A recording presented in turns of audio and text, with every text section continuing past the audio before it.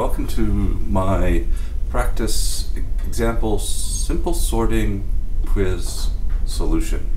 So here's the simple sorting practice quiz. I have my text editor. So let's see what the quiz is. I need to write a simple Java class that has a bubble sort method, takes an array and a comparator, and it must implement the bubble sort. So let's start off by adding the Java doc, bubble sort implementation for an array of data. Put my author tag. Um, close that off. So public class bubble sort. That's done, so now I need a method. So let's javadoc the method performs the bubble sort on the data array using the compare header to decide less than. at param data the array to sort at param compare the compare at or to used to decide less than equal or greater than close off Public static. Void bubble sort. Takes an array of e's called data, a comparator e called compare, and now we need to implement the bubble sort. So the bubble sort is we loop through the array comparing each pair and then moving the larger one to the right or to the larger end of the array. And we do that as many times until we stop. If we don't do an exchange, that means the array has already been sorted and we're done. So we want to say Boolean exchange to indicate whether we've done an exchange equals false since we haven't done any.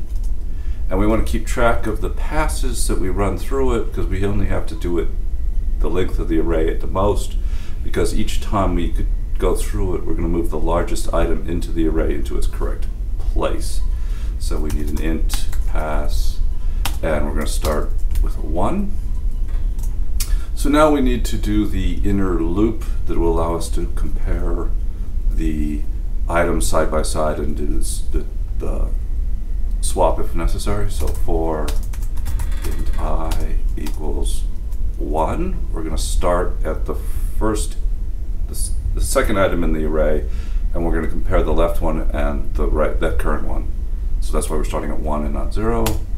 We go until i is less than data dot length minus pass.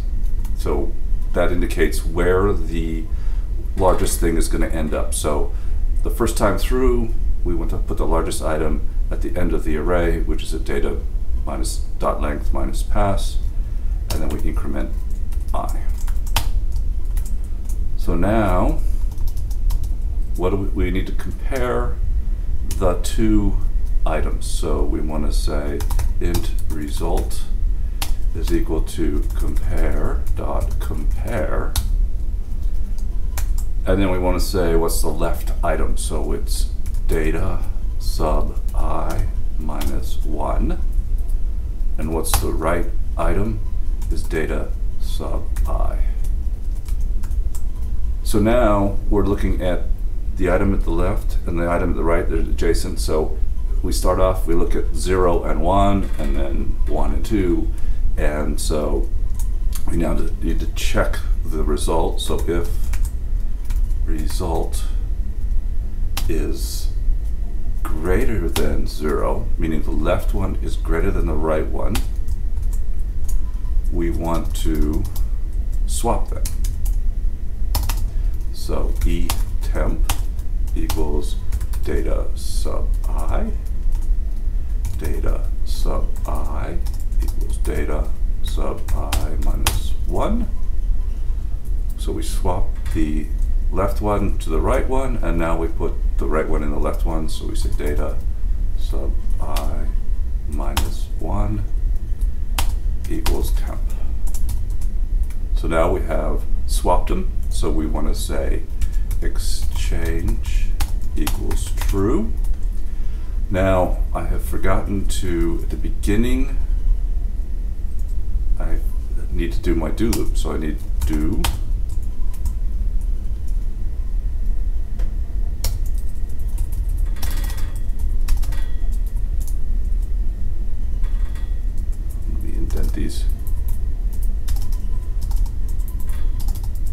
Sorry about that. Made a mistake, forgot my outer loop. So that's my if statement. That's my for statement. And now I need while. So I want to loop the outer loop while exchange. So as, as long as we swap something, we, we need to keep going.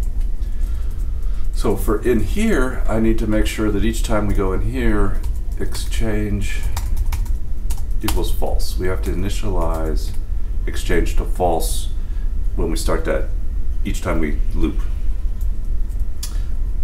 Now, once we get done with the for loop, we're done with one pass. So we go pass plus plus. So we increment the pass.